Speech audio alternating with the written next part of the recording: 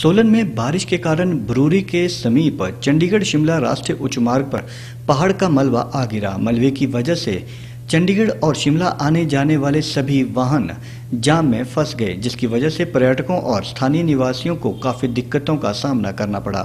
मलबा गिरते ही पुलिस और प्रशासन सभी मौके पर पहुँचे और जेसीबी मशीनों की मदद से सड़कों को खुलवाने में जुट गए। करीब डेढ़ घंटे तक मशीनें मलबे को साफ़ करती रहीं, तब जाकर मार्ग खुल गया।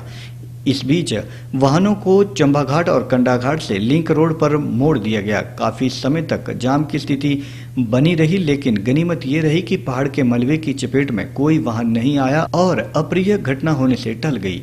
यहाँ से गुजरने वाले वाहन चालकों ने कहा कि वे काफ़ी समय से यहाँ खड़े हैं और सड़क खुलने का इंतज़ार कर रहे हैं। उन्होंने कहा कि जैसे ही जेसीबी से मलबा साफ़ किया जाता है, पहाड़ से मलबा खिसक कर और सड़क पर आ जा रहा है। जिसकी वजह से सभी आने जाने वाले लोग बेहद खौफ में हैं। कुछ लोग दुर्घटना के भय से वापस अपने घर वापस लौट गए हैं तो कुछ नागरिक जो बेहद ज़रूरी काम से जा रहे थे, वे मलबा हटाने के बाद अपने गंतव्य स्थानों के लिए रवाना हुए।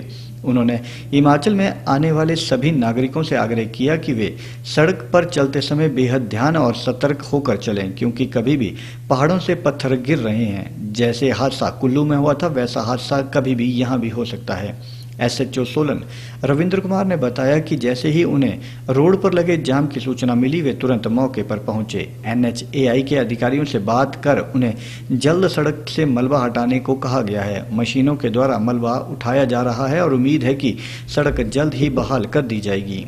इस सवा दस और साढ़े दस बजे के बीच में पता लगा था कि ये स्लाइड स्लाइड आ गया है और जिस वजह से दोनों तरफ़ का ट्रैफ़िक बंद हो चुका है। यहाँ तुरंत ट्रैफ़िक इंचार्ज साहब भी पहुँच चुके थे और ये तुरंत इसको खुलवाया जा रहा है। ताकि लोगों को जल्द से जल्द जो लोग फंसे हुए हैं, उनको निकाला जा सके। अभी एन से बात एन वालों से बात करते हैं इस बारे में और जैसे ही कुछ पता लगता है, वैसे ही कार्रवाई की जाएगी।